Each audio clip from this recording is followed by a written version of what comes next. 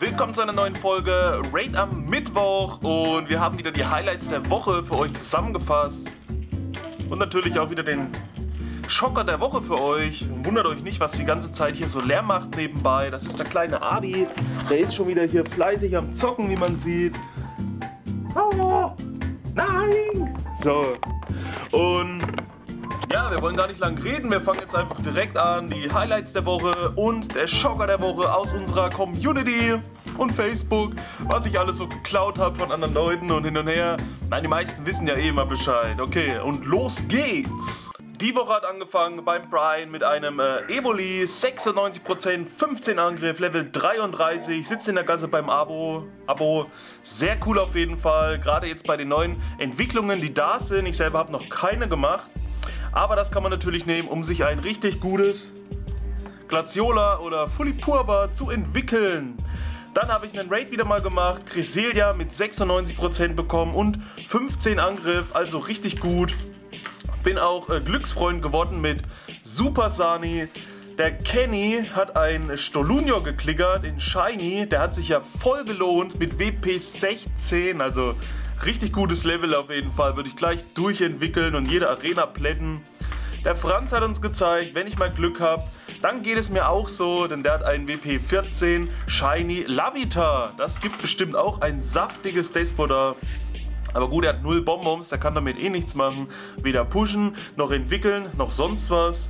Dann habe ich mal meine EP abgescreent zum Anfang des, äh, der Abenteuerwoche. Ich war ungefähr also bei 125 Millionen. Wie viel das geworden sind, das erfahrt ihr morgen bei der Auswertung. Oder beim letzten Screen in dieser Folge, da habe ich nämlich das Endergebnis auch abgescreent. Dann ging es auch gleich fleißig los. Nach 20 Minuten, ihr seht 22.21 Uhr, nach 21 Minuten hatte ich mein erstes Shiny Anorit. Der Fabian Prowatzki gleich mit einem Shiny Onyx 461 WP und das Ding sieht richtig genial aus. Finde ich sogar besser als das Shiny Stalos.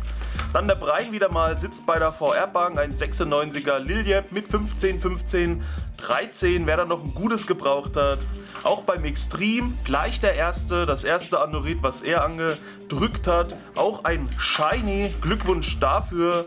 Der Kenny läuft mit einem Shiny Liljep und da habe ich selbst bis heute noch keins bekommen. Ich habe so viele Liljep angeklickt und gemacht, aber kein Shiny Liljep bekommen. Bei Anorit sah es besser aus. Da kam dann noch ein zweites und ein drittes und ein viertes und keine Ahnung. Aber Shiny Liljep sollte einfach nicht werden. Dann die Sally Maus. Yeah, mal wieder ein Shiny aus dem 10 Kilometer Ei mit einem Shiny Shinux. Ich musste mir damals alle mühsam aus dem Raid holen habe ich mit einem kleinen Account immer 1er Raids gemacht, bis dann äh, drei Stück da waren. Habe mir die alle rübergegeben, obwohl ich auf dem großen Account auch schon eins hatte, was ich zum Tauschen genommen habe. Aber ihr seht, man kriegt die natürlich auch aus 10 Kilometer Eiern. So kann man es auch machen. Auch der Quede mit einem Shiny Onyx. Dann war ich mit dem Kenny unterwegs und wir haben mal wieder ein paar Cresselia Raids gemacht. Shiny Tablet hat heute wieder zugeschlagen. Einfach bei drei Accounts Shiny Cresselia dreimal hier zu sehen. Richtig gute Sache, sowas finde ich immer klasse, ist immer ein Bild wert. Auch der Model X hat ein äh, Cresselia gemacht und ein hundertprozentiges bekommen mit 16, 33, 15 Angriff, 15 Verteidigung, 15 Ausdauer. Glückwunsch an der Stelle. Die Terrorzicke hat auch ein Shiny Lilia bekommen. Der Robby ein 98er. Und er schreibt ja selber, naja, weil nur 14 Angriff, da hätte er sich die Werte bestimmt anders verteilt gewünscht. Und auch ein 98er Onyx aus der Quest, aber auch nur mit 14 Angriff. Pupsi dann auch mit einem Shiny Onyx, 23 Bonbons, also das kann man noch nicht mal entwickeln, da muss ich noch ein bisschen farmen. Dann habe ich ein paar Glückstrades gemacht. Der erste, den ich da getauscht habe, wurde gleich Lucky und ein 98%iges Pion Scorer, auch mit 14 Angriff. Der typisch Andy hat einen Shiny Kleinstein gefangen, denn auch das gab es ja seit der ersten, also seit letztes Jahr der Abenteuerwoche, gab es ja Kleinstein. Nee, das nicht, das wurde ja zwischendrin eingeführt. Nee, da gab es nur Ammonitas und äh, Kabuto und sowas. Kleinstein wurde zwischendurch eingeführt, war aber natürlich auch jetzt als Shiny verfügbar. Die bleiben ja für immer im Spiel. Der hat sich einfach einen Shiny Kleinstein gegönnt. Auch Glückwunsch, sieht immer noch aus wie ein Blumenkohl, wenn man sich das so anschaut. Gestern Abend einfach so wild gefangen, der Stefan Landei, auch ein Shiny Liliep und seins guckt auch richtig böse. Heute in der Mittagspause ebenfalls wild und gleich entwickelt für die Quest ein hundertprozentiges Anurit zu Amaldo. Level 21, wie man sieht, und 15, 15, 15, auch vom Stefan Landei. Richtig gute Sache. Dann hat er noch einen Profi-Tipp für den C-Day für uns.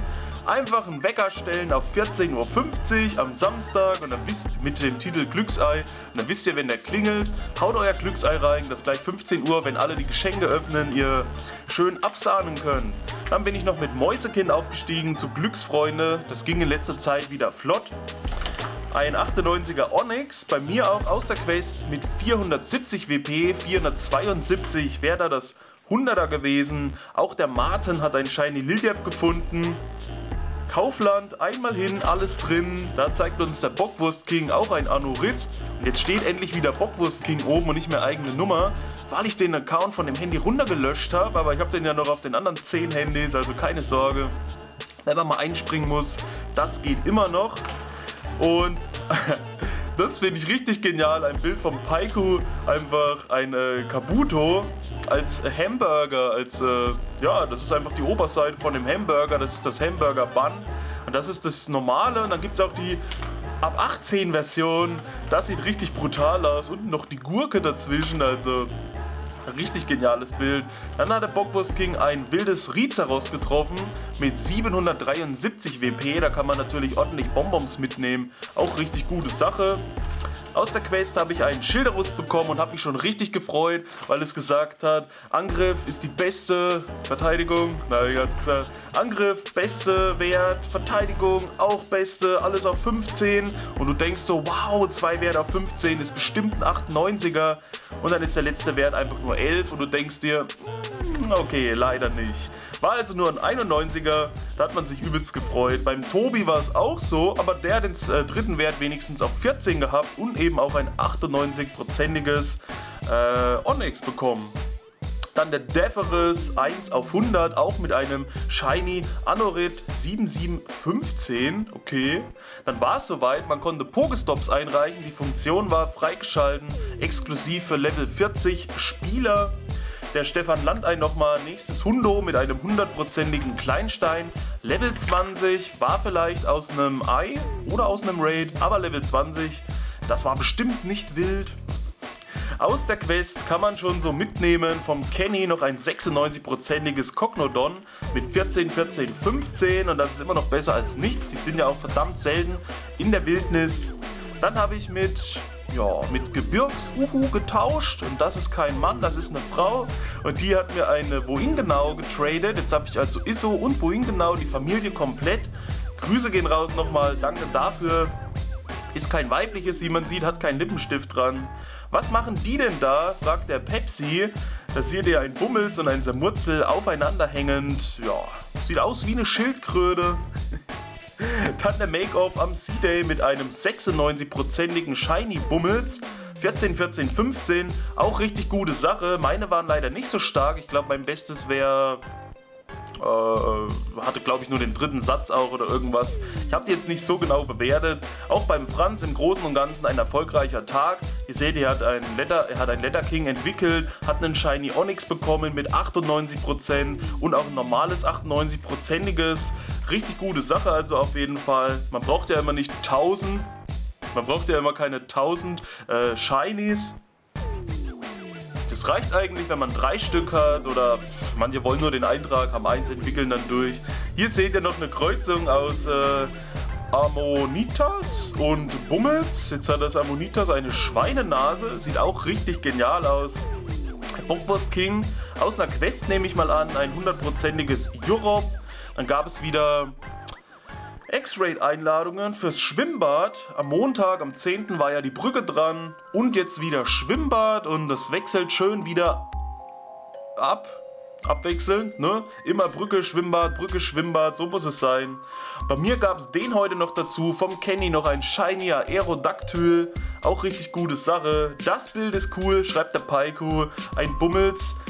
Ja, wird das gerade abgeholt vom Driftlon oder ist das Driftlon da und massiert ihm den Rücken? Man weiß es nicht, da kann man auch viel hineininterpretieren. Dann noch ein Bild vom Paiku. Sleeping with your Pikachu. Cute. Sleeping with your Mashok. Weird. Also wenn ihr mit eurem Pikachu im Bett liegt, das ist süß, das ist, das ist schön, aber mit eurem Mashok, hm, das sieht schon ein bisschen äh, krank aus, also irgendwie seltsam. Sally Maus endlich gefangen mit einem Shiny Wablu. Auch Glückwunsch dafür. Der Stefan nannt einen nochmal, ähm, ja. Der hat einfach mal 500 Eierplätze. 9 von 500 hat er jetzt belegt, also da ist noch reichlich Platz. Stellt euch mal vor, ihr habt 510er Eier, die zur gleichen Zeit schlüpfen. Das wäre die totale Eskalation. Da müsste man dann wirklich ein Video drüber machen. 510er Eier. One Take. Boom. Das wäre krass. Einfach so ein Bug. Das, da ist man einmal in Tunesien, nee, da ist man mal in Tunesien vom Fabian Prowatzki, ein Level 4 Podrod, aber auf 100%. Natürlich auch gute Sache, leider kein Shiny, das wäre noch krasser, aber ein 100er geht immer. Dann der Stefan Landei, ach fick dich doch. 49,9 Kilometer gelaufen, der hat also glaube ich die äh, Belohnung nicht geschafft. Obwohl, vielleicht wäre es ihm doch möglich gewesen, einfach noch 100 Meter dazu zu bekommen. Hat er bestimmt noch gemacht, kann ich mir nicht vorstellen. Selbst wenn er auf der Toilette sitzt und hin und her wackelt, da gehen bestimmt noch 100 Meter dazu. Dann ist Pupsi mit äh, Karl Sariken zu Glücksfreunden mutiert, sagen wir mal, aufgestiegen. Und der Kenny hat noch ein das hat sich ja mal gelohnt, ein Mobile gebrütet. Das schlechteste, was wirklich aus dem Ei kommen kann, mit 10, 10, 10, 66,7%. Habt ihr auch schon mal ein äh, 66,7%iges Baby gebrütet? Schreibt es mal in die Kommentare. Dann hatten wir den X-Rate an der Brücke. Da habe ich ein 96%iges bekommen mit 15, 15, 13, also Dioxys in der Verteidigungsform. Aber der Kelly hat noch einen draufgesetzt. Der hat nämlich gleich das 100%ige bekommen mit 15, 15, 15. Beziehungsweise war das, glaube ich, nicht seins, sondern das war bei dem Account vom Extreme dabei. Jetzt schmeiß mir nicht die Kamera um, Bruder, ich sage dir. Dann der Stefan Landei. Ach ja, Endspurt hat begonnen. Der hat nämlich mit dem No Gym Account jetzt äh, Level 39 erreicht. Er braucht also nur noch ein Level. Ihr wisst, der hat ja keine der hat keine, ähm, ähm, kein, äh, kein Team, kann keine Raids machen, kann keine Coins bekommen, äh, kann keine Arenen angreifen, sonst was. Der hat es also wirklich schwer und steinig. Durch das Event jetzt konnte er sicherlich äh, gute Erfahrungspunkte noch mitnehmen. Und er hat mir jetzt schon gesagt, wenn der Account dann Level 40 ist, möchte er ein großes Gewinnspiel machen und diesen Account einfach verlosen wie das genau abläuft, wie die Regeln sind, wer da mitmachen kann, wer nicht, das wollen wir noch bekannt machen in einem extra Video. Auf jeden Fall, sobald der Account Level 40 ist, möchte er den an die Zuschauer rausgeben. Einer kann den dann gewinnen. Und das Gute ist, ihr kriegt einen Level 40er Account und ihr habt noch freie Teamwahl. Ihr könnt also selbst noch entscheiden, ob ihr Team Gelb, Team Rot, Team Blau werden wollt. Jetzt stolpert doch hier nicht rum. Und ja, das ist doch eine richtig gute Sache. Die ganze Mühe dafür und dann, um dann den Account wegzugeben. Und ihr habt ja gehört, das sind auch ein paar Shinies schon drauf. Also auch richtig gute Sache. Wir freuen uns auf jeden Fall. Wenn es soweit ist, dann die Sally Maus. Juhu! Noch mit einem Shiny Potrod. Hinterher, dann wurden die GoFest-Medaillen für Chicago veröffentlicht. Die konnte man dann im Profil sehen. Wer da also ein Ticket hat, konnte die vorab schon einsehen und hat die jetzt in seiner Sammlung. Dann habe ich einen Shiny Kleinstein bekommen als Betthupfer vom Virus Killer. Hat mit mir getradet, ihr seht, deswegen auch das Datum 18.09.2018. Das ist also nicht von jetzt, nicht vom Event. Wer da aufmerksam hinguckt, der hätte das erkannt. Und der Franz aus der Feldforschung, denke ich mal, ein hundertprozentiges Lugia mit 15, 15, 15. Da ein paar Bonbons, das hochziehen. Ich habe bisher auch noch kein Lugia hochgezogen, obwohl das trotzdem eigentlich ein cooles Pokémon ist. Dann der Hoffi, auch aus der Forschung, mit einem hundertprozentigen. Was ist denn? Jetzt klettert doch hier nicht hoch. Mit einem hundertprozentigen ähm, Minun aus der Forschung 100% Level 15, ich kann nicht mehr reden, der lenkt mich einfach immer ab. Dann der Kenny mit einem Shiny Onyx 760 und darauf hat er ja so lange gewartet. Jetzt ist es endlich da, richtig gute Sache auf jeden Fall. Eben geklickert, Glaube zwischen Markt und Stolperstein. Der Brian mit einem hundertprozentigen Anurit Level 31, das ist auch gut. Sehr schön, auf dem Sofa gelandet mit einem hundertprozentigen Anorit Level 31 und ja, gutes Level. Der hat mich komplett aus dem Konzept gebracht. Danach hat er auch noch einen 98er gekriegt. Läuft heute für mich, würde ich sagen, aber mal ehrlich, was will man mit einem 98er, wenn man einen 100er hat? Vor allem wenn das 98er nur Level 15 ist aus der Quest und das andere Level 31. Aber gut, das kann man ja aufheben, das kann man entwickeln. Soll ich sagen, hat man beide als 100, aber das ist ja ein 98. Ja, ich mache einfach weiter, denn ich bin jetzt, glaube ich, komplett raus. Noch ärgerlicher, beim Robby, der hat einen Onyx nochmal bekommen. Der hat ja vorhin aber, glaube ich, schon einen 98er gehabt. Jetzt hat er einen 96er. Diesmal hat er 15 Angriff, was vorhin ihm gefehlt hat. Dafür aber nur 14, 14 bei den beiden anderen werden, also nur ein 96er. Dann hat der Bob uns gezeigt, einen Stock, der heißt einfach mal Kinderkatapult, damit man die Plagen weit wegschießen kann. Ich frage mich, wer solche Sachen einreicht, aber irgendwie ist es ja trotzdem schon witzig, aber gut, wenn man bedenkt, dass auch, dass gerade Kinder auch diese App spielen und da rumgehen und das sehen, also die fühlen sich dann sicherlich ein bisschen merkwürdig, welcher menschenhassende äh, Typ sowas einreicht.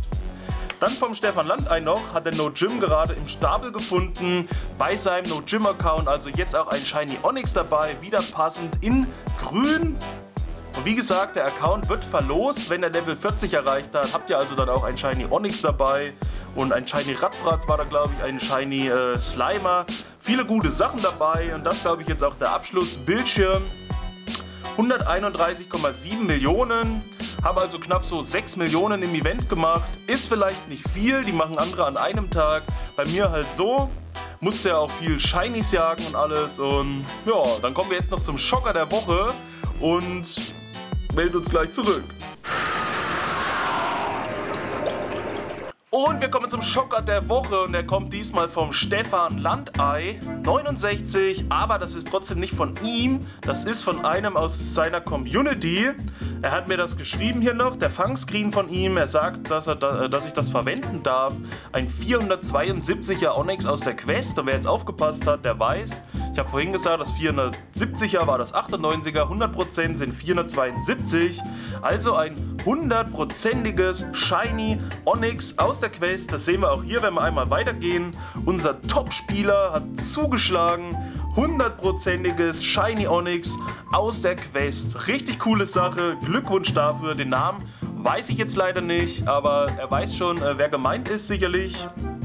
Und ja, das war's, aber glaube ich jetzt von äh, dieser Stelle. Wir melden uns beim nächsten Mal einfach wieder, wenn wir wieder die Highlights der Woche haben und den äh, Schocker der Woche. Und ich hoffe, Adi ist beim nächsten Mal ein bisschen ruhiger und rastet nicht wieder so komplett aus. Das war's von meiner Seite. Wir sehen uns beim nächsten Mal. Bis dahin, Peace out, Vorhaut, euer Ramses.